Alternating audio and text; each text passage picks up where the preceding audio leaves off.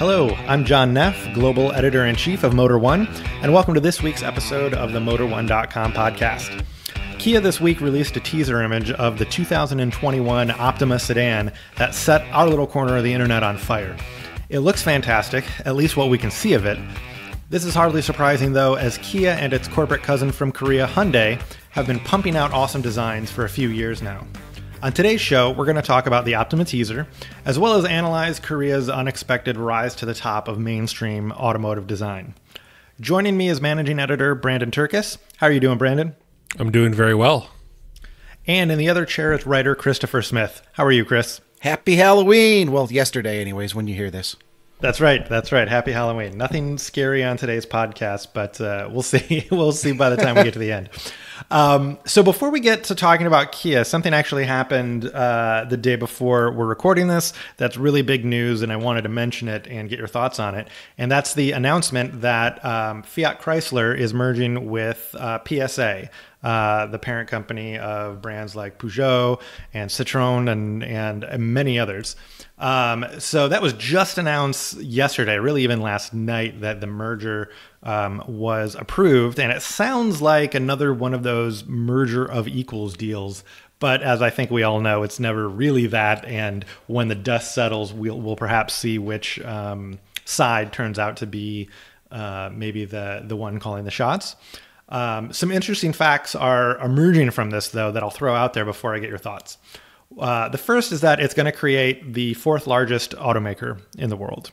And the number of brands, I actually have to count them, I have them listed. Uh, it's Fiat, Jeep, Dodge, Ram, and Chrysler, Alfa Romeo, Maserati, Peugeot, Citroën, DS, uh, Opel, and Vauxhall. So that's 1, 2, 3, 4, 5, 6, 7, 8, 9, 10, 11, 12. And we actually counted yesterday. That's that's technically one more brand uh, than the Volkswagen Group, which to date has been, um, the, I think, the largest in terms of just sheer number of brands.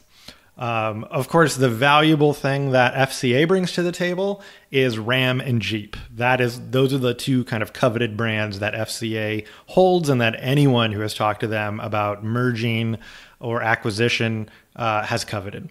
Um, meanwhile, FCA, which uh, is has a very, let's say, politely dated lineup of cars, um, gets access to PSA's kind of modern platforms uh, for passenger vehicles. Um, so that's kind of, and then of course they're going to get the economies of scale that come with being a much larger company and lots of savings from that. Um, but I wanted to get your reaction. So, Brandon, let me start with you. Uh, you actually, I think, found the news yesterday as soon as it happened. Um, what was your first uh, reaction to hearing about the merger? I mean, as as somebody that grew up in, in Detroit in the 1990s, anytime I hear the phrase "merger of equals," I I develop like a very sudden tic, and I have a little bit of PTSD from it from the Daimler Chrysler days. Uh, this this seems like a very good deal for FCA and a very good deal for PSA. Um, I'm excited about the prospect of French cars coming back to the U.S. I think uh, Peugeot and Citroen and DS have a really impressive line of crossovers. Uh, every time I'm over in Europe, I'm, I'm consistently amazed by the number of crossovers from each brand that I see. They're absolutely everywhere over there. I think it'll be great for Chrysler though because there's a more developed line of electrified vehicles from those brands, and there's a very good line of commercial vehicles as well. So, uh, and the reality is that you know FCA's uh, Fiat-based commercial vehicles, uh, the Ducato and the Doblo, which are the ProMaster series here in the U.S., are just really not that great. So, I think the idea of of French commercial vehicles coming over here, French crossovers coming over here, especially for the Chrysler brand, which is either going to go away or is going to become a really big deal if they start if they get access to PSA's line of crossovers. Uh, I think it's it's very exciting for them. It's interesting that you bring up the commercial vehicles and particularly the the ProMaster in the U.S. because I'm, as you know, I'm uh, pretty big into like the the camper van scene and in the camper van scene in the US which is you know van life is so popular there's there's three choices right the Sprinter um, the the Ford Transit and the uh, Ram ProMaster and the the ProMaster is really popular, and I've learned some advantages it has over the the Sprinter and the and the Transit. Um, one being that the interior size is is larger. There's actually more interior room because it it it uh, the walls aren't as thick and things like that. So um, I'll be interested to see if they they replace uh, the ProMaster with a PSA product, or if they just bring more PSA products over to bolster their commercial vehicle lineup. Uh, because the commercial vehicle segment has really grown way more competitive in the past 10 to 15 years. It used to be just dominated by Ford, really. And now it's every uh, automaker is seemingly coming in to take uh, their small, pie, small uh, piece of the pie. Um, so that's a really good a good observation. I did, I wasn't even thinking commercial vehicles before, and electric vehicles as well. That was another good point because Chrysler is is uh, nowhere in, in terms of electrification. I will say I, I do hope the the French commercial vehicles come over here, especially Citroen, because they have the best names. Like they have two vehicle two vehicles off the top of my head: the Citroen Jumpy and the Citroen Bongo. Yeah. Which are just which are just fantastic names no for like small commercial vehicles. There's no way they're going to come over with those names, though. I wish oh, they were. I, I but they're gonna they're gonna make something like ProMaster Light, and you know. Uh, yeah, honestly, like it's I, I, I hope they come over because I you know I, I appreciate that there's a, a subset of people that like that appreciate what the ProMaster is, but it is far and away one of the worst driving vehicles I've ever experienced. Huh, I haven't I haven't driven one, so I'm kind of oh god, uh, it's absolutely awful. That's interesting. Um, well, and and I think another really uh, big, probably the biggest unanswered question are are these European brands going to appear on US shores or is it going to be more about platform sharing and they're going to be donating platforms um, and cars to the American brands to sell under their names? I don't think we know uh, the answer to that question uh, for sure. I don't think uh, we'll know Chris, that answer me... for another six months, honestly. Yeah, probably. Chris, let me switch it to you. What do you think? You guys forgot the best Citroen name of all time, the Space Tour. Come on. Who who doesn't want to drive something called the Space Tour? Um, I, I don't know if those are commercial vans. I think those are just passenger vans. The um, Space Tour is a C4 based passenger van, I think. Yeah, it's and I mean honestly, I love the way they look. Um, and really, when we're talking about FCA and mergers, we knew something was coming eventually. I mean, FCA for the last several years, I think, has pretty much talked to everybody. I didn't get a yeah. call yet asking for a merger with me personally, but it, it, was it was coming. So I mean, we knew it was coming, and you know this this makes this makes a really really large automaker for the entire world.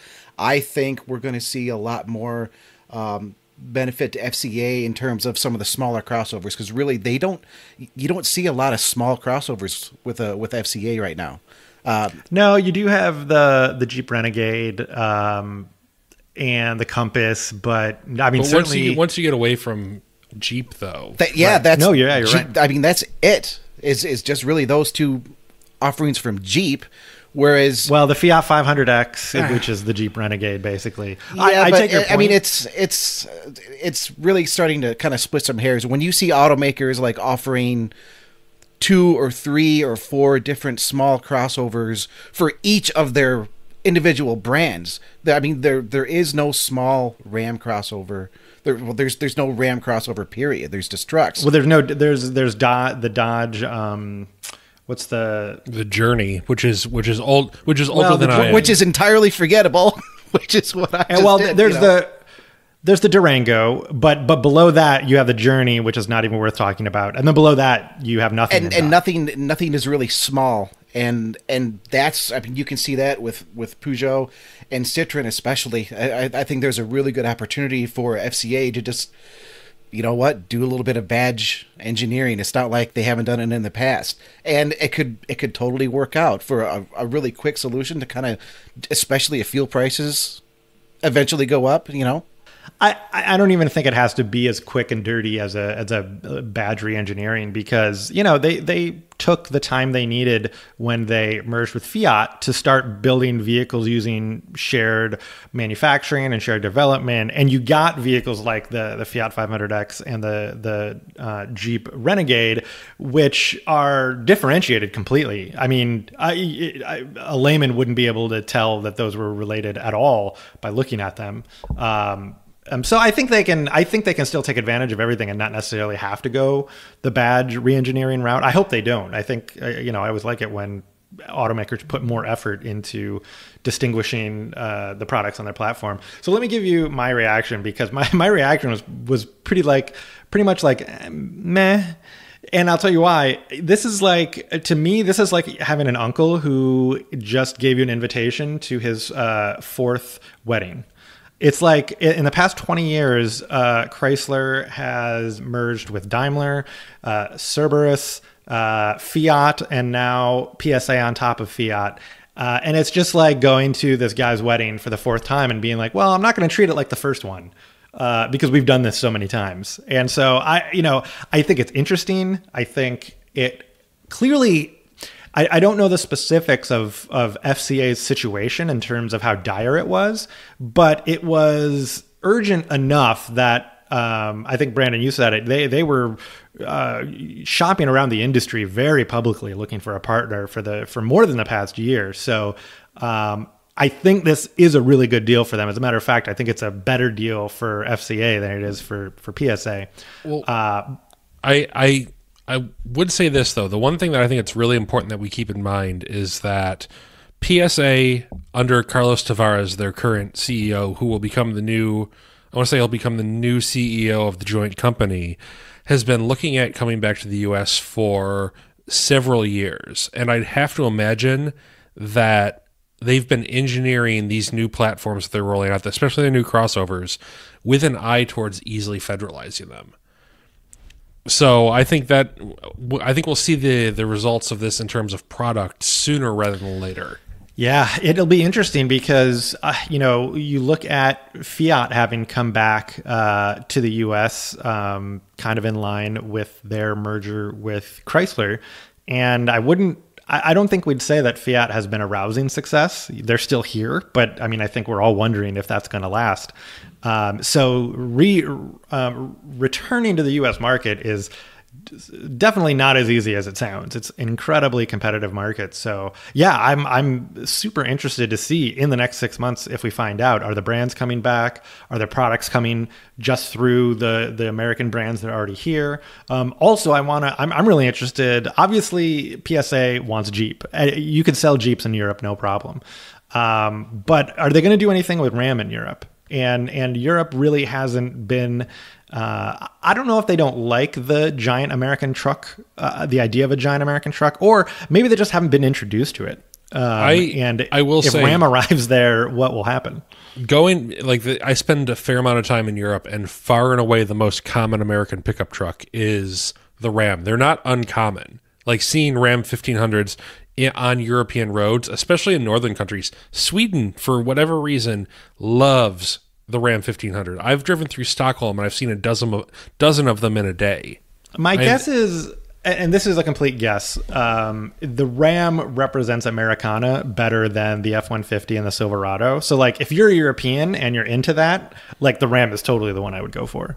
Yeah, That's I mean, I, I, I completely agree. I, I don't think I don't think we'll see Ram go over to Europe. Maybe not in its current form, uh, but I could definitely see uh, this this joint company engineering um you know a smaller Ram model. You could call it a Dakota if you want. It doesn't need to be called that, but something of that size to compete with the Ford Ranger and the Volkswagen Amarok and the Nissan Navara and the entire lineup of small pickup trucks that are sold in Europe right now.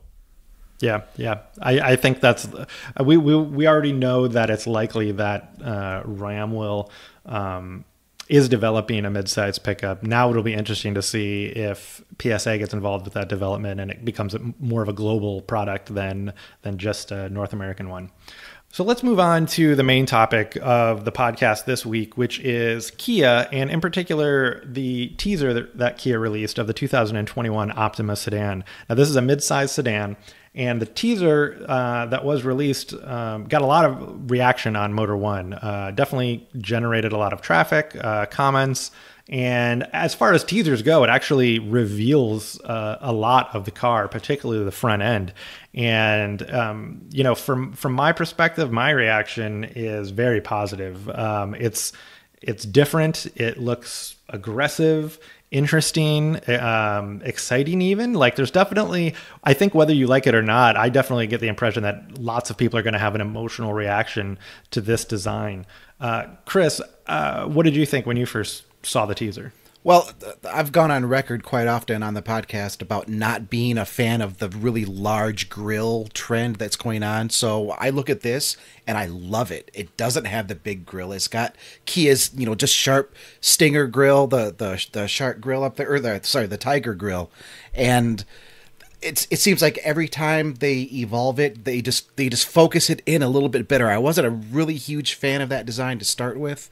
Looking at it on this teaser, I I just I absolutely love it. It looks very sleek. I will say I I'm not really that interested in what they're doing with the with the headlights with the with the little LED strips around it. That that seems to kind of contrast. It, it almost has a sharpness that doesn't go with the rest of the style.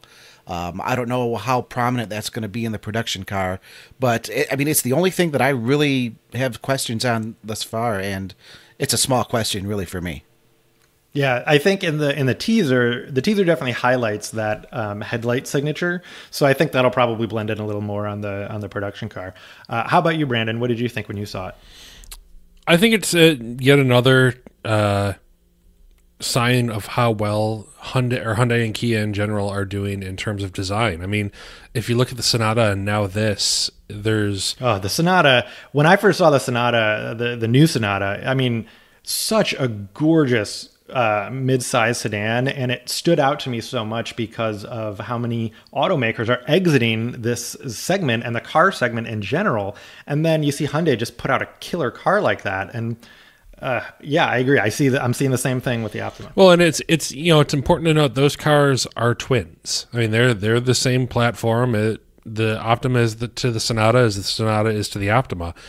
Uh, I think it's it's a very good sign that Kia can, can continue to take a familiar Hyundai product and put its own spin on it. And I think there are a lot of styling details here that are interesting that I'm excited to see how they how they shake out for the broader Kia brand. I haven't been in love with the company's design for the past few years. I think it's good, but it's never really called to me.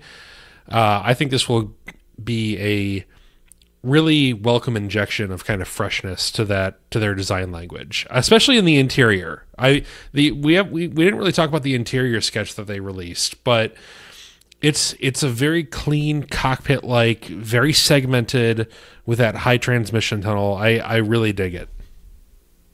Yeah, um, you know, it's interesting. You, you you bring up the fact that the Sonata and the Optima are sister cars sharing the same uh, platform uh, they're they're highly differentiated in terms of what you can see and touch, uh, but the mechanicals are, are largely similar underneath. What I think is interesting is that both brands have their own styling chiefs, and then there's this guy that sits above both of them uh, as the head of, of design for all of Hyundai Hyundai's motor group, uh, and that's Peter Schreyer. And it's amazing to me that you, are right. each each brand gets to design their own, but they're each pushing the boundaries. I think of design and making some really incredible designs. I'll bring up another example: um, the Kia Telluride and the Hyundai Palisade.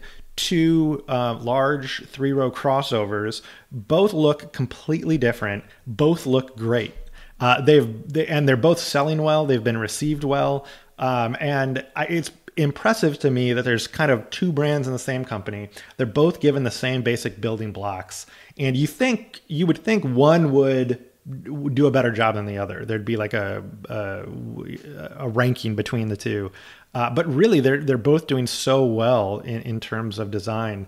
Um, it kind of boggles my mind because I don't, I, I, don't, that's not what I expect, especially like you said, kind of growing up uh, in the 90s and watching the uh, US automakers with their many brands and, and how they just stepped all over each other or didn't try at all and just pumped out the same car with different badges. Um, th- this is how you do uh, multiple cars on the same platform. Right. And, that, and that's the thing. I mean, that's what we got used to, right? When you look at and really, I'd say it started back in the 70s and, and into the 80s, especially with GM with their badge engineering.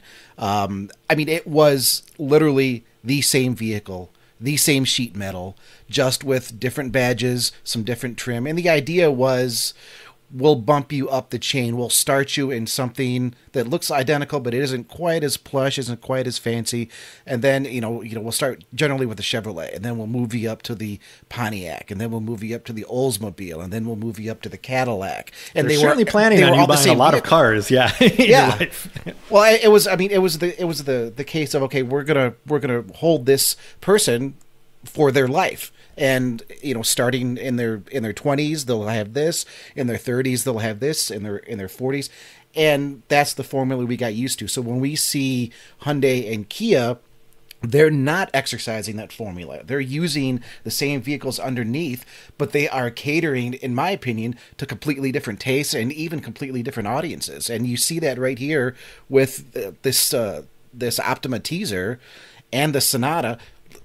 The Sonata has the big grill. I'm not as big of a fan of the Sonata, Yeah, but and I but think the it's- it's- Sonata, it's, more, it's it's designed more with elegance, and I think this Optima Right. looks like it's designed more with aggressiveness. Right, and and it's amazing to think that they're really they're the same car, but they're not at the same time. So, I, I, Well, well, well, well done, South Korea. Well done. Yeah, and and you look at how uh, how Hyundai, the parent company, Hyundai Motor Group, has set up these two brands. These two brands, I would say, they compete. They compete directly with each other. It's it's not even Uh, to and I- compete directly. There's like there's a genuine rivalry. Like you can't talk Exactly. to like Hyundai PR people about Kia because they just want nothing to do with it. And it's Right. it's in the most professional way, but it's I mean there It's there's healthy, a cul- yeah. there's a healthy culture between those two companies that you know the the money comes fr- comes from the same wallet, but they are competing with each other. And and you know what you described in the 80s and 90s, Chris, about the U.S. automakers were where GM wasn't trying to get their brands to compete against each other. They were trying to get the brands to each have their their own kind of identity and price range, so you'd move up through them. And I would say that was largely a complete failure in terms of a of a sales strategy. Where here you have. eh, eh, Although I would still argue GM is still executing that strategy, even just with fewer brands. You know, Chevy, Buick, uh, Cadillac, and GMC. They're still trying to position them so that they don't compete with each other. Um, but I think the Hyundai, uh, their system has worked out much better for them, where they basically have two brands competing directly against each other, and both have been growing sales like crazy for over a decade. So, uh, you know, it's not, I, I think it's not as simple as just, you know, their strategy versus GM's. Obviously, there's a lot of cultural stuff, and there's probably some really good leaders there um, for the South Korean companies too. But uh, I just, every generation, um, Kia and, and Hyundai, get better and better and it's almost like it's like clockwork. Um, it's been really it's been really fun to watch because i think now they're getting to a place where they're starting to have fun. Uh, and you look at like the kia stinger as an example of that um, where that's not a car maybe where the the business case was there but maybe there were other factors. Um, and i love seeing that you know, because those can those can turn into huge hits. You look at Ford and like the Raptor. Uh, you know, I'm sure before they launched the Raptor, they weren't quite sure how that was going to go, and it turned into a, a huge uh, success.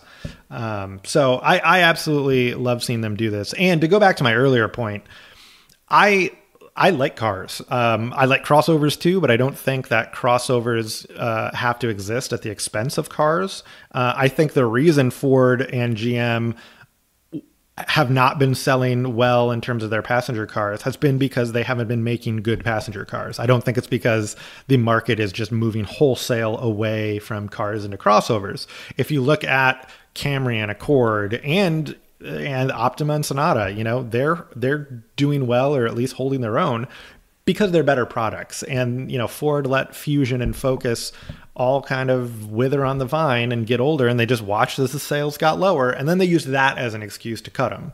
And, Well, it's it's, it's I- very easy to rationalize something like that when you don't care. Yeah, I mean, it's, it's exactly. It's really easy to come up with Well- rationalization like, oh man, these products aren't. Uh, you know, it's it's never that your products are bad. It's that oh, the market just doesn't want them anymore. Right, which- exactly. Which, is such a just a load of of of crap. It it's a very is. American automaker thing, though. I mean, It's it- not our fault. It's your fault. yeah, It's it- like and it won't- precisely. it won't be uncovered. It won't be shown the light of day. The the falseness of that until there the ga- uh, well probably until gas prices go up or some other factor um, craters SUV and and pickup truck sales, and suddenly the Americans are left with no cars. Honestly, I think what's going to happen is, you know, you look back at the past 50 years of car buying, and in the 60s and 70s, everyone bought station wagons, and then everyone, and then there was a station wagon backlash, everyone bought minivans. There was a minivan backlash, everyone bought SUVs. Gas prices went up, so there was an SUV backlash. Now they're getting into crossovers. And I think eventually we're going to reach a point where buyers are coming up and saying, you know, I don't really want a crossover like what my mom and dad have. I want a coupe or a sedan or a hatchback, even. So I think Well, that, and- I think the and- market is cyclical enough that we're going to see some sort of body style that's fallen out of favor. And my God, I hope it's station wagons that comes back with a new generation of buyers. Maybe when you know people that are teenagers today, f- 15 years from now, when they can afford a really nice car, they'll say, "Well, you know what? I want a wagon." Brandon, you're absolutely right. And to to follow up on that, what has existed throughout all of these decades where people went from wagons to minivans to SUVs to crossovers, what's always been in the background? Sedans. And now Ford and GM are ready to walk away from that segment. They're not going to have anything to fall back. on. Now, in What's, in those, what's interesting in- though is is it, it it really hasn't been cyclical because we since since if you go if you're just going back to the wagon, uh, I would I would you know and you you you followed it its through line you know wagon to minivan to SUV to crossover. It hasn't returned to anything that is left yet. Um, so I I, I don't know. doesn't mean I- that I it think- won't. It, it it doesn't, but there's no evidence that it will either. I'm, just saying it's not really cyclical. I don't know what's next. I don't know what's after the SUV. I don't know if it's another body type or if it's a, if it's a jump to electrification and that you know uh, brings with it its own body type. Um, you know, it could be anything, but I think we all know it's not going to be crossovers forever. And here again, we have the Americans going all in, putting all their chips on a, on on on a body type and pickup trucks. No, I'm gonna I'm gonna I'm going to take the devil's advocate position real quick and say that we have one thing now that we did not have in the 60s and the 70s and the 80s and the 90s and even the 2000s and that's modular platforms. You look at what Ford is doing with it's paring down to five modular platforms. They're going to be more agile in the way that they can develop vehicle types. So it might not be a you know say it's five or six years to develop a new product from like clean sheet design to on sale date that might get cut down significantly now that you know we have automakers that have modular front drive platforms modular rear drive platforms it so it might be that they're they're more they they think that they are more agile and able to respond to a sudden change in the market like that do i think it's a good idea to get rid of all sedans and and cars in general Absolutely not. I think it's a terrible idea. But I think the automakers see it as, you know, what we're leaner and more agile now, and we can respond to the market quicker than we ever have before.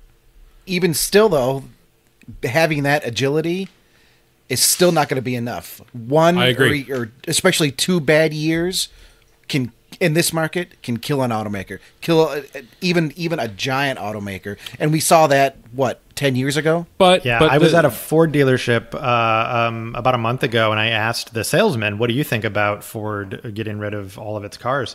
And he said, "I absolutely hate it." Uh, and one reason was because he said, "Now for any size vehicle I sell somebody, it's going to be more expensive because it's a crossover, and that makes the vehicle harder for me to sell." Um, and he also admitted, uh, with a little bit of shame, that he said the problem is I can sell somebody a more expensive vehicle, but it puts them in a worse financial position. And Americans just aren't financially intelligent enough to recognize that that's a bad thing. oh god, we could have, we could have Wait, we could have 10 we could have 10 podcasts about like the problems with new vehicle purchasing like especially in and- terms of like my- my buying point and was- financing he felt bad because it's his job to sell cars. It's not his job to like talk people out of them. So of course he's going to sell a crossover that costs five thousand dollars more when they could have bought the sedan or or the wagon or the tall hat, hatchback, whatever that costs less. And and so he was kind of bemoaning that. And I think just a lack of choice. I think when he saw it as you know the more choice is better for him because he can find the right car for people. So, so you mean my neighbors that uh, that are buying the seventy thousand dollar pickup trucks, um, you know, while they're also clearly not able to afford much else? They're, you mean they're being upsold into those pickup trucks? That can't be. Yeah. no, Uh, that can't be right. I will say, Yeah, uh, I mean, they, there were just stories. both sides. There were just stories coming out that the this was earlier this week that the 60 day delinquency rate for auto loans is past where it was when in the housing collapse. Yeah, I've been seeing I've been seeing stories like that that the next financial And it's- crisis it's is not gonna be as- it's not gonna be as subprime car loans. it's not going to be as bad because you know it. It's cars versus real estate. Real estate's always going to be Right, bigger, yeah, you're but- not gonna lose But your it's house, still gonna it's still going to be very bad. if Yeah. fuel prices for some reason jump, it will be just as bad, Oh. if, if not Yes. worse. Oh, yeah. if not Yeah, worse. I think We're that's going the- right the down thing the same fu- road again. And the thing is, fuel prices will go up. They always go up. It's always going to happen. And yeah, I like I said, I think it's short sighted. I think the automakers see it maybe with a little bit of hubris that you know we can respond to this. And and again, in their defense, the market is not going to change overnight necessarily. People are there's going to be signs that people are starting to abandon crossovers, and we're going to start. We'll start to see slowly but surely. We'll start to see sedan concepts come out and coupe concepts, and automakers trying to stumble on the next big thing. That, that, that's what I think. What I'm going to be looking for is signs for what is the next big thing because I don't know that it'll be a return to something or something new or or or what. I, I'm really interested to see when when the cracks start showing in crossover popularity. What is going to be the thing that causes those cracks? Station wagons, people, bring them on. Bring on Um, all the nice. station wagons. Well, let's. I wanted to finish our talk of the of Kia and Hyundai um, with a little roundtable of some of our uh, favorite um, Korean designs. But but before we get to favorites, there was a vehicle I can pinpoint when I first started noticing that Korean designs were getting good, um, and I wanted to um, have you guys tell me yours as well. I'll start with mine to set the stage. So it was actually before Peter Schreyer arrived uh, at um, Kia. Um, I'm t- what, what popped into my head was the 2002 Hyundai Tiburon. Now there were a lot of there were like two or three generations of Tiburon before 2002, and they were terrible. Um, really, they look like fish on wheels. You're, I would you're say. thinking of the Ferrari 550 lookalike, aren't you? Yes, I am exactly, uh, and that it was it was it was what I perceived as um, Hyundai going from kind of immature, silly designs to a mature design, like they were trying to be serious. And I really, really liked it at the time. I was a lot younger, uh, but I, you know, uh, for for a coupe, it just looked really, really sharp um, almost sophisticated, which at the time you would just never ever apply an adjective like that to a Hyundai design at the time. Um, so I give them really big props for that. And then the other one I point to, and I think this is probably the more common one, is the 2009 Hyundai Sonata. There was um, it went uh, the Sonata went from just probably the blandest sedan design you could think of to something that was so expressive um, lots of curves, um, not a straight line on it. Um, and that's when it started. That's when the Sonata got that um, chrome line that goes from like the headlight all the way up to the A pillar. Um, and yeah, that's when that's when I think the was one of the kind of first designs that ushered in this era of really great uh, South Korean automotive design. Uh, Brandon, what about you? What was the first Korean design that really struck your eyeballs? I mean, it's it's hard to say because I I'm weird in that I liked some of the older terrible ones. Like I want to say it was the I don't even remember what year it is, but it was a like an Elantra in the 90s and it was just it was a neat piece of design. I I don't know what it was that I really liked about it, but in terms of more modern stuff, it has to be the Optima. I mean, the, from the from the time it rolled out, I always thought I thought the Optima was maybe not the most interesting, but the best looking Korean car on the market. You get an Optima Optima SX in white with like the sun the, the sunroof or the blacked out roof or whatever, and it w- it looked like a stormtrooper on wheels. It was a very very cool looking car, and not just the exterior design, the interior design was really interesting too. You had these really nice quilted leather seats that. Now, are you talking about the third third generation one that lines up with the Sonata that I was just talking about? So like 2010. Uh yes, that one, but also a little bit beyond that. The uh the fourth generation one, which is on sale right now, which was a very modest uh, redesign. It was a very very light redesign, but Yeah. both of those cars are. It's just so good looking, and it's it's it's not super exciting. It's just you you see one drive by and Just it's like handsome. That's a good looking Yeah. car. Yeah, absolutely. I agree. Uh, Chris, what about you? I'm gonna I'm gonna jump around here a little bit because um, the, I just have a lot to say on this that uh, that I think is relevant. You guys remember the Hyundai Scoupe back from the mid '90s? Hell yeah, I remember the Hyundai Scoupe. Never heard I mean, of I, that car. I'm not, I, I'm not, I'm not gonna pick that as the one that made me go wow. But I, I clearly remember that just for, hey, it was, it was this kind of sporty looking two door. I remember a guy uh, th- that I was working with in a job um, at high school. He managed to get one, and it was yellow. And it just got lots of attention, but he, I mean, he was a high school, or no, he was just out of high school. I don't know how he afforded it, but um, I remember he stopped driving it all of a sudden. And then one day he was like, "Yeah, I got it parked in my barn because the repo guys are looking for it." So that kind of left an impression on me. So Um, people were making bad financial decisions about their cars back then too. I, I think people have made bad financial decisions about their cars for decades. But For yeah, I mean, that just stuck into my mind. It's like, Yeah. it's like how rough do you got to be to be, you know, uh, hunted by the repo guy for your Hyundai? Right, It's, uh, right, You know, back back Scoupe. in the '90s, I mean, these cars were like crazy cheap back then, They and were. and that kind of segues to what I'm going to say next. My wife almost leased a Hyundai Elantra uh, in, in the late '90s. Brandon, you were talking about that Elantra, and yeah, it was a good-looking car. And I remember, I think they also had the the GT5 door around that same time. It was a great-looking car. She didn't lease it because the Hyundai dealer in Kalamazoo, Michigan. I don't know if you guys are still around, but you you were just like the, the worst salespeople ever as far as uh, you know treating women with respect. So she went over to the Mitsubishi dealer and got a Mitsubishi Mirage. That's how bad the Hyundai dealer treated her. She got a she got a '97 Mitsubishi Mirage. The, Hopefully, the Mirage was better back in 1997. I don't remember specifically, but it, it- couldn't have been it- worse than the Mirage today. you know, I mean, they the, the dealership offered a really good um, a really good lease deal, and uh, I mean, she was you know just young in college at the time, and I mean, no, it, it, it wasn't that great. It it it was. Oh no, I just was- I just looked up the it, it was 97 Mirage. It No, was, a good- slow. It was Yeah. well, it was slow. Um, I was driving tour shows at the time, so she was she was used to that. As she get in the Mirage, it's just like, oh, this doesn't go anywhere. But Yeah, I mean, no it, show. I, I mean, it um it. I mean, I mean, it sort of had the. Uh, I think back then the Mirage was still really closely tied to the uh, to the Lancer at that point, It was, yeah. which which we couldn't get in the states. So uh, you know, I always thought, hey, check me out, I'm driving an Evo, and no, I'm really not. But well, let me let me let's keep rolling with you then, um, and get your favorite Korean design of all time. the Not one just the first one, but the first The- one you remember, but the, the- favorite.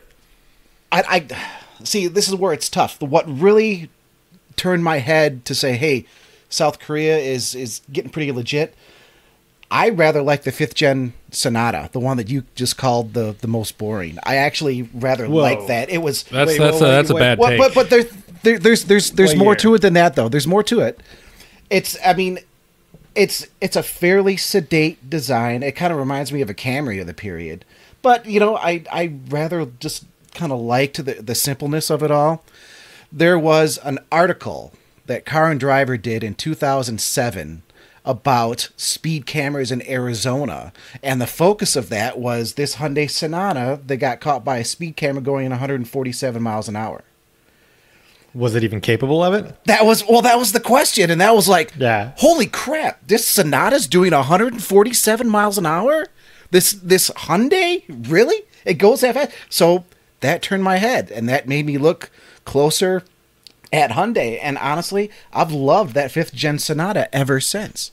I know. so I, I I've, actually- I've got to I've got to I've got to credit that for saying, hey, that's what woke me up. I don't begrudge you that because I think that generation, the one before I picked, it was super clean. It was super like you're right. Simple. Um, I don't. Elegance a strong word, but It, it was it was it was clean. It it wasn't dynamic, but it was clean. When you go Right. back to the to the fourth gen, that just it it, it had those kind of awkward. Oh, the fourth gen was like- ovalish yeah. headlights. The Yeah, fifth gen was was pretty clean, and if, Yeah. if not if not you know exciting, not exciting in any measure, but.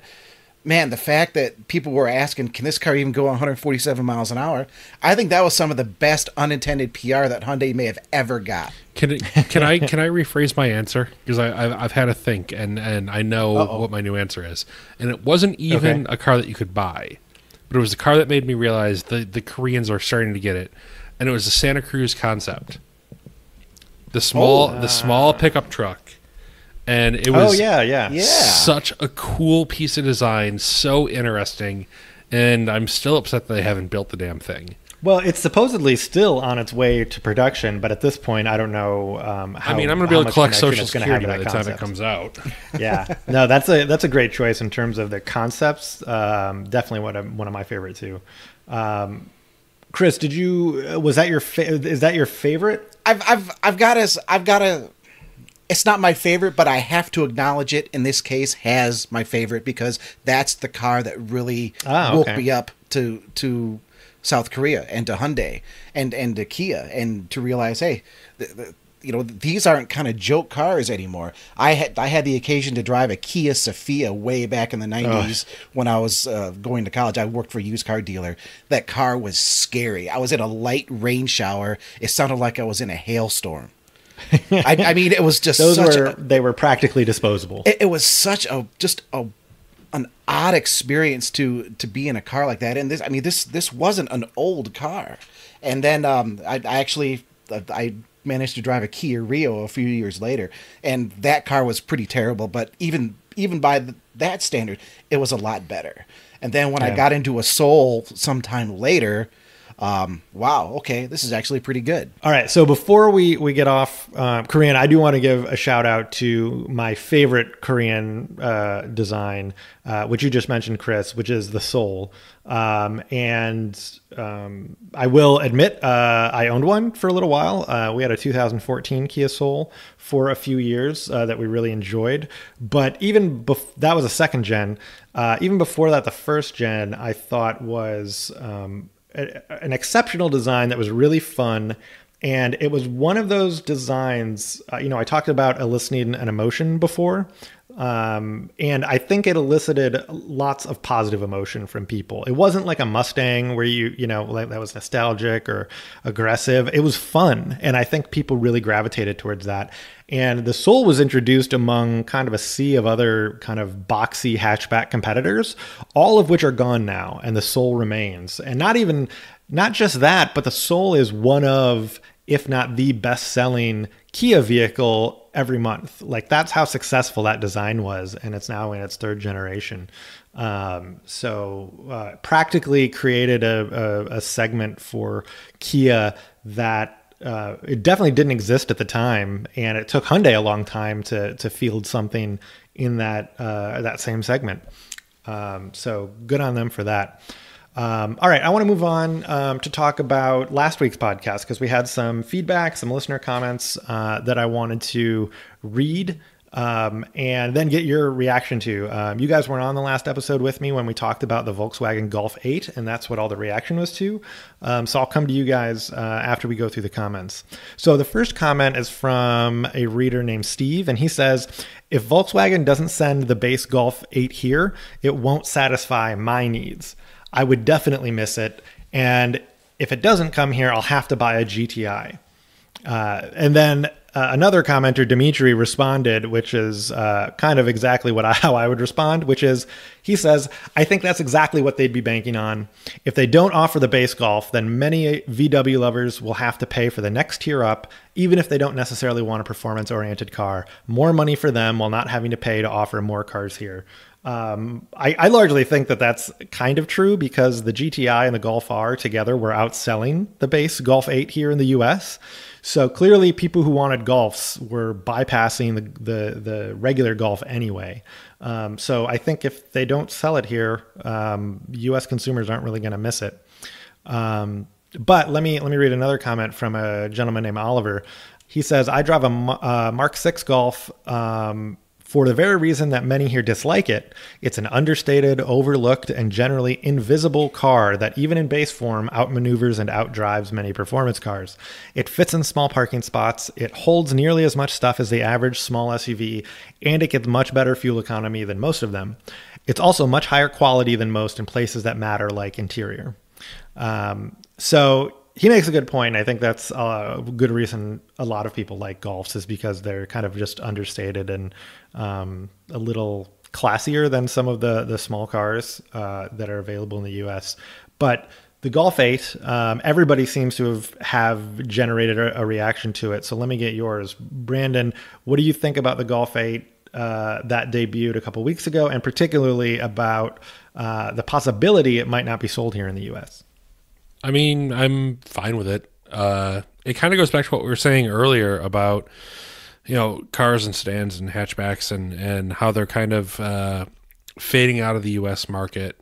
In the case of the the Golf, I've always found it to be a very good car, but kind of kind of an obsolete car because Americans have never been big on hatchbacks, and the ones that are have no problem going to the GTI, and the Jetta has always existed to fill that small car need. So I'm I'm am I disappointed by it as somebody that likes European cars and especially likes European hatchbacks?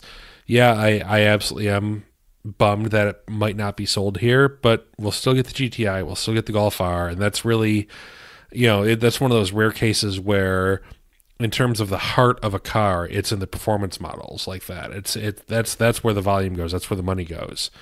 Um, the the overall design I like. I think it's very attractive. I think the interior is gorgeous. It's smart. It's tech forward. It has you know the same right size blend of you know space in such a small footprint. So I'm I'm I'm eager to drive it at some point. You know, I pretty much agree with Brandon, and you know, I, I got to agree with Oliver as well. Oliver, you're spot on on your comment. It fits in small parking spots. It holds nearly as much stuff as the average small SUV. It gets better fuel economy. If the Golf was lifted a little bit, it would probably sell a lot better. Because don't give them any ideas. we we could we could have a Safari Golf, couldn't we? Come on, we, uh, we could the, do this. What was the? I, I mentioned it. Call, call it the Golf episode. Safari. Yeah, there was uh, the lift. What was the lifted golf in the '90s? I mentioned it in the last episode. Uh, the Syncro golf or something. Oh, I, I, I can't remember. But the, you know the the point there is, you know, hatchbacks have always been a four letter word in the United States. They've always been regarded as just the cheap basic entry car, which is why they never really took off and why companies are still struggling. And you know, for Volkswagen to not send the base Golf here, I mean, the sales support that. The the GTI and the R, I, I think they outsell two to one, if not more. Yeah versus the regular golf. So yeah, the the person that would buy the regular golf, they'll step up to the GTI. You know, and it really, really, it's not a huge. It's not going to be. I don't think it's going to be a huge price difference. No, because actually the golf kind of had a premium of a price in yeah. the hatchback segment anyway. You know, I think this is you know rare, if not has never happened before, where a company has pulled the regular version of a car and kept the performance models in a country rather than the other way around. Um, it shows just how devoted Volkswagen, yeah, the, the GTI Volkswagen and, and our are, fans, yeah, and and just how well regarded those cars are as well. Yeah. All right. Well, we'd love to hear what you think about, um, well, not only last episode, but this episode, the Koreans, the FCA merger, uh, all of that. Um, you can find us on Facebook and Twitter at Motor1Com, where this discussion and many more will continue. And of course, go to our website, motor1.com, where you can find us in the comments. Now, coming up, you'll find out what we've all been driving this week. Before the break, though, a reminder that if you're listening to this online, you can also get our show on iTunes, Apple Podcasts, Google Podcasts, Spotify, and wherever else you get podcasts. So please hit the subscribe button so you never miss a show.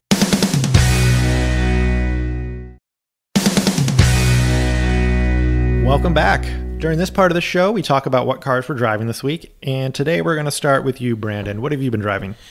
Well, I have been spending a great deal of time with the new Lincoln Aviator Grand Touring Black Label. It is the most expensive aviator money can buy. The example that I had was about loaded for I want to say eighty eight or eighty nine thousand dollars. So not cheap by any stretch, but And this is the Lincoln Lincoln version of the Ford Explorer, right? So to give people a it- relative the- size. Yeah, that would yeah. In terms of size, it's it's.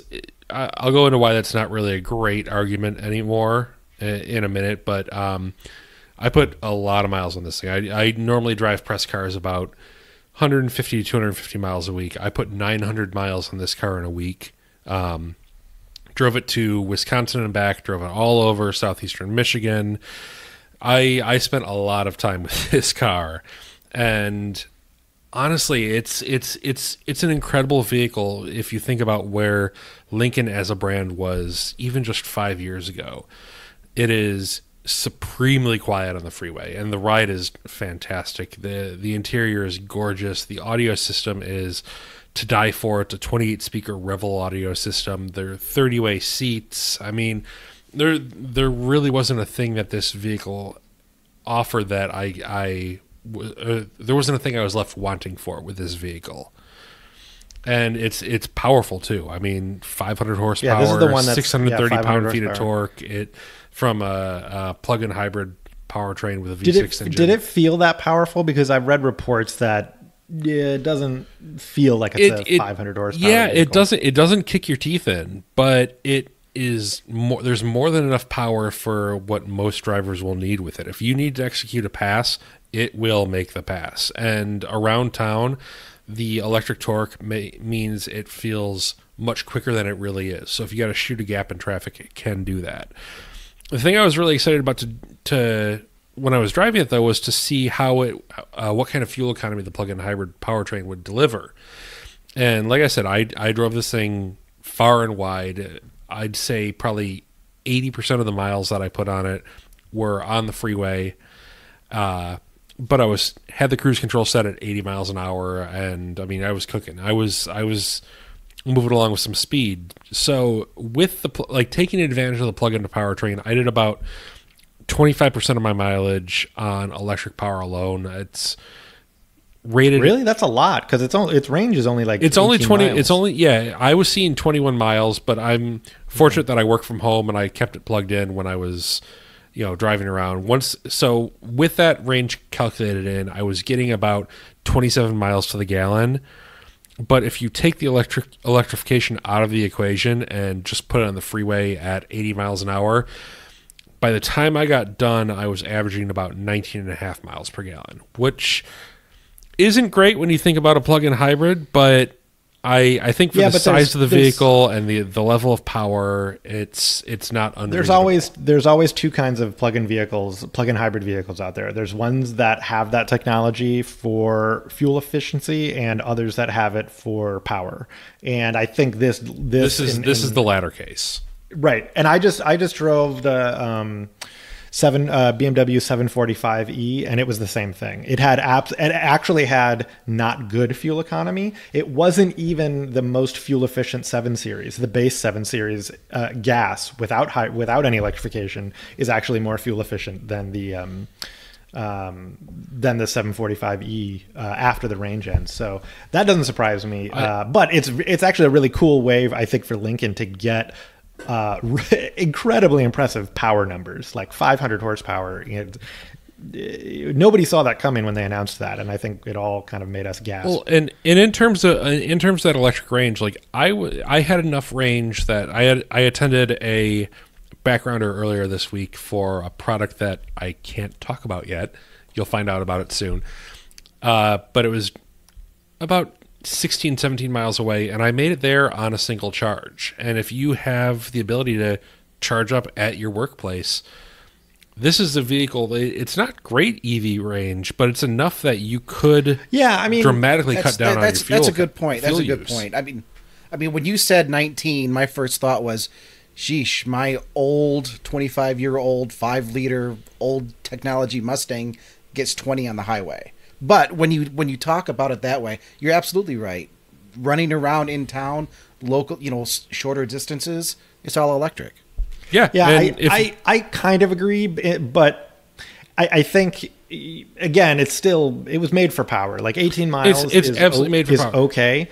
But the amount of people who are also going to have a charging station at their workplace is very, very small. But but even if you don't, um, you have enough electric range to cut it, cut your gas use in half, basically. Yeah. perhaps in half, right? Yeah. So I mean, that's and when you factor that in, it becomes a little bit easier of a pill to swallow. But here's why.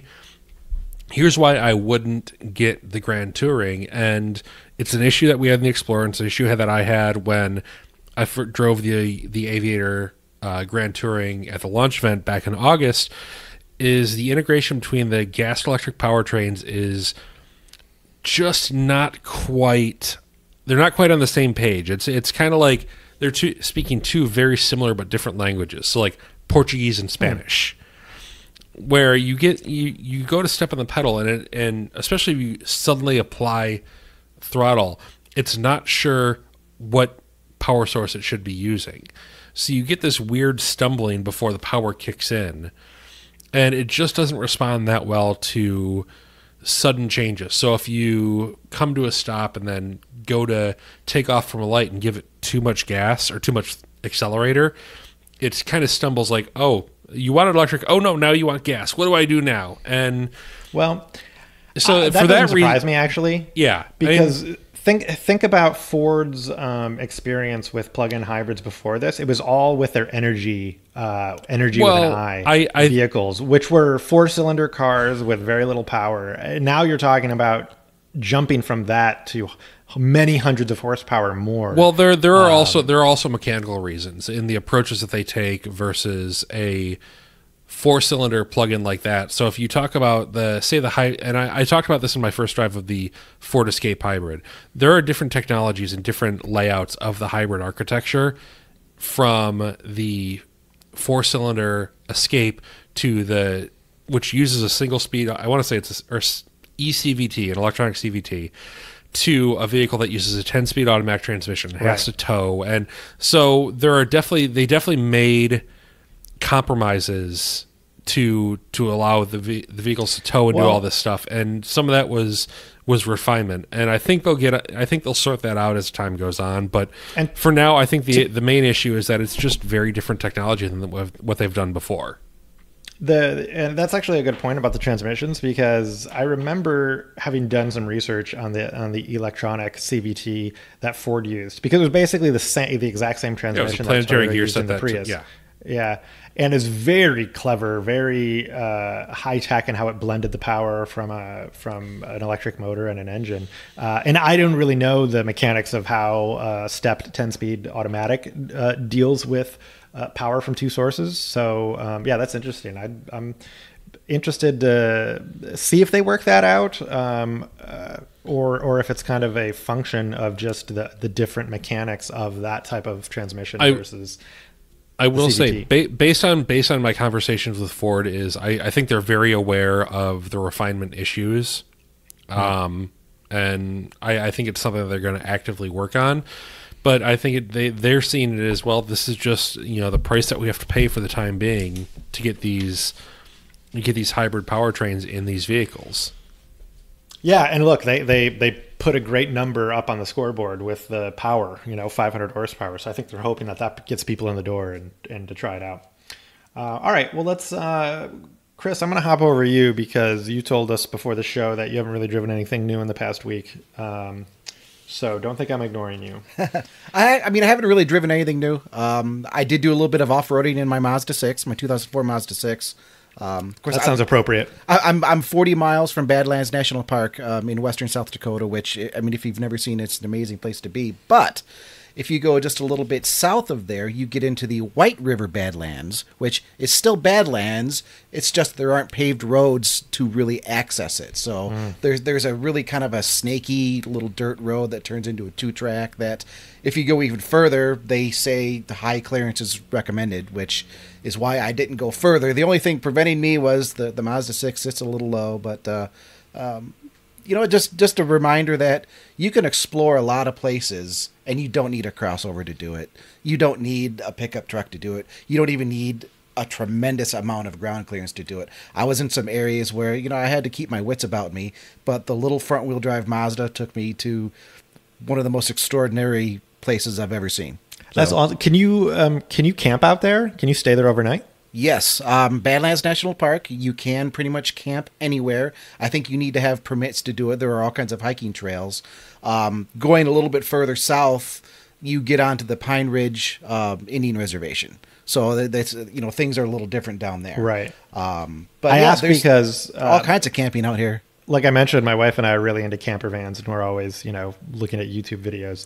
Um, And you know, some of them You they would- put lift kits on. Um, uh, there's obviously four wheel drive sprinters you can get and things like that, um, just for that purpose. So you can go a little bit off road, get a little bit away from people, um, and find your own spot. Um, so that's actually that's good to hear. Yeah, come on Uh, out. our- absolutely, I'm totally coming out. All right, so last week, um, or actually this week, what I have right now, what I'm driving is a 2019 Audi A7. Um, and I was really excited to get the keys to this because uh, obviously, uh, you know, we drive a lot of new vehicles every year. Um, and I still remember when I first drove an Audi A7 uh, of the first generation one. Um, and it was easily one of my favorite cars of that year. And I, I still remember it because of how much I liked it. Um, it was one of the few cars that, as like an automotive journalist, I've driven and, and said like, I could drive that every day. I could I could give up driving media vehicles and reviewing cars and just drive this car. I, I so I, I was a really big fan of the first gen. Um, so this current generation, um, for me, has not lived up to the to the impression that the first generation uh, gave me. Uh, I think one one part of it is the the exterior styling. Um, I think that that first generation, uh, including both the original and they they kind of did a refresh a little that tweaked the headlights. Um, that design was just one of my favorites of all time. It was so good looking, not a sharp edge on it. It was all curves, um, and looked so long and and perfect with that hatchback and sloping rear, uh, roof in the rear. I just loved it. Um, and this current design is a lot of creases, a lot of sharp edges. And to me, and I've, I've kind of complained about this uh, before concerning Audi designs, is Audi just kind of takes a design and just kind of keeps evolving it every generation, but never really takes a risk or reinvents it or. Um, they just keep tweaking it and keep tweaking it, and I think eventually they get farther away from what made it beautiful in the first place. And I think that's for me what hap- has happened to the A7. I don't think it I don't think it has the same proportions as the original that I love so much. I don't think it uh, the design is as um, elegant or or iconic. I think it has just kind of suffered that same fate of of many Audis, which is just going going through the Audi wringer uh, design wringer um, too many times. I, Um, I I am going to disagree with that. Okay. I'm I th- I think it's uh, I think they've e- evolved it well. I def I do agree that sometimes Audi could stand to be a little bit more revolutionary than evolutionary, but in in terms of the proportions, I mean they're they're very similar from from the first gen to the second gen, and in terms of uh, they I think they've modernized the design a bit, and I get that that might not be everyone's cup of tea, but. I really, really like this car. I think it's better looking than the first gen one by a, a pretty fair Yeah, margin. but see, I don't, I I don't think adding creases and sharp angles equals modernization. Like to me, they're just. I mean, did they me- did they add that many though? I mean, Yeah, yeah. Go park them side by side. Yeah, I've been I've been looking at pictures the last few days, and it is. It, it it's I'm not going to say it's vastly different. Um, I'm just going to repeat what I said in that it's just, just the same thing Audi does. It just starts it just starts playing with it and and making to me it's more about they they're just making changes for making changes sake. They're not making it look better or more modern. They it, it's like they hit a bullseye on the first throw and they decide, you know, rather than being happy with that, they're just going to keep throwing. I mean, Um, we'll, we'll agree to dis- disagree on that one. Yeah. I'll, now, I'll fall in the middle on that because John, you have a good point, but I, I still think it's a good looking car. I, I, I think I don't want to call it ugly. right. I, I, I, yeah, I don't want to. I'm not saying it's an ugly car. I think if they had come out with this first and the first generation had never come out, I'd probably say it's a great looking car. And that's But- saying a lot for me because I hate these big grills. So yeah, it is a big grill car for sure. Um, now inside, it's totally different. I mean, the the first Love gen the interior was great for the day, but modern Audi interiors um, are amazing. They're excellent. Um, so inside is absolutely a wonderful place to be. Um, now this one is eighty three thousand dollars.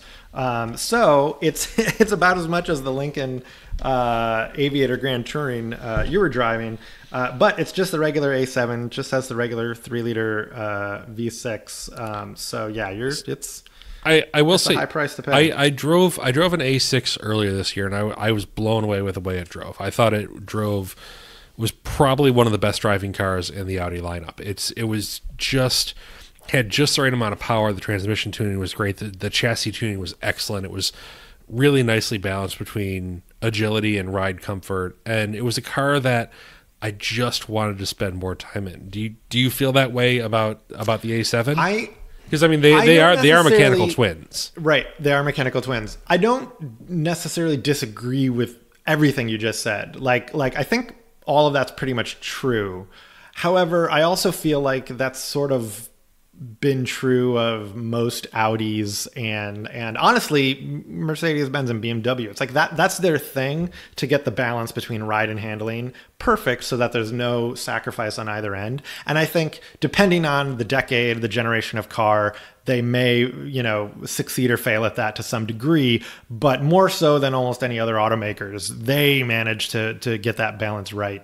Um, so I, I can I can say yeah, it drives really really well. Um, the engine and, and transmission are perfect dance partners. All of that is true, but I guess for me that's like a that's like uh, a minimum bar for Audis, BMWs, and Mercedes is is they should get that. I don't get the feeling like I want to get in it and and go drive for fun. Um, I, I I more get the feeling that I'm I'm happy to get in it to drive when I do, but it doesn't like beg me to go out, you know, driving uh, with no purpose just for fun. Um, so, but I that that might be personal taste too, because I might have said the opposite about the first gen A7 because it for me I remember it being the smoothest driving car I I had driven at the time. Just like it could, it was just it, it was almost so quiet. It it was like an EV. Its uh, throttle. Um, kind of sensitivity and reaction to throttle was just so linear and smooth. It was just that, that's what I remember from that that first A7. And I drove many A7s after that of that generation too. And of course, their personalities change as you go up the ladder to S and RS and all that. But um, uh, but yeah, I, honestly, I love the A7. I think it was a great idea. It spawned. Uh, it wasn't the first car of that type. I think we'd give that to the Mercedes CLS class. Uh, but I think it instantly became one of the best ones in the segment and, and remains to that day. Um, clearly, I think you're hearing though that I had a really high bar for the current A7 that is struggling to to to beat the bar that my memory sets of the first one. All right, so that brings us to the end of our show. Uh, you can follow Chris Smith on Twitter at chwriting, uh, Brandon Turkus at Brandon Turkus, and me at John underscore M underscore Neff. Uh, I want to thank you two for being here co-hosting with me. Gentlemen, always a pleasure. All right, and thank all of you out there for listening. We'll see you next week.